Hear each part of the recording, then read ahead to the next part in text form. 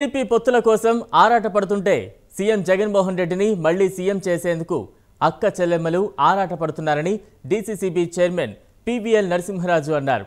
ఉండి మార్కెట్ యార్డులో వైఎస్ఆర్ మూడో విడత సంబరాలకు పీవీఎల్ ముఖ్య అతిథిగా హాజరై పన్నెండు వేల ఐదు వందల ఎనభై ఆరు మంది పొదుపు సంఘాలకు చెక్కులు అందజేశారు. అనంతరం ముఖ్యమంత్రి జగన్మోహన్ రెడ్డి చిత్రపటానికి పాలాభిషేకం నిర్వహించారు.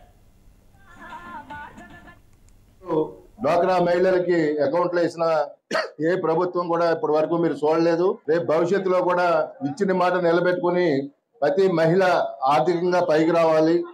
వాళ్ళ స్వశక్తితో బతికేలాగా ఉండాలని చెప్పి మరి ఈ కార్యక్రమాలన్నీ కూడా జగన్మోహన్ రెడ్డి గారు చేసుకుంటూ వెళ్తున్నారు. మరి రేపు రాబోయే ఎలక్షన్లో మీరందరూ కూడా ఎవరైతే సొంత అక్క చెల్లెల్లో చూసుకుంటున్న జగన్మోహన్ రెడ్డి గారు ఉన్నారో ఆయన్ని ఎప్పుడు కూడా మర్చిపోకూడదు. ఎందుకంటే ఎవరు మనకు మేలు చేస్తున్నారో అలాంటి వ్యక్తుల్ని మనం గుండెల్లో పెట్టుకోవాల్సిన అవసరం మనందరి మీద ఉంటుంది. ముఖ్యంగా మహిళలు.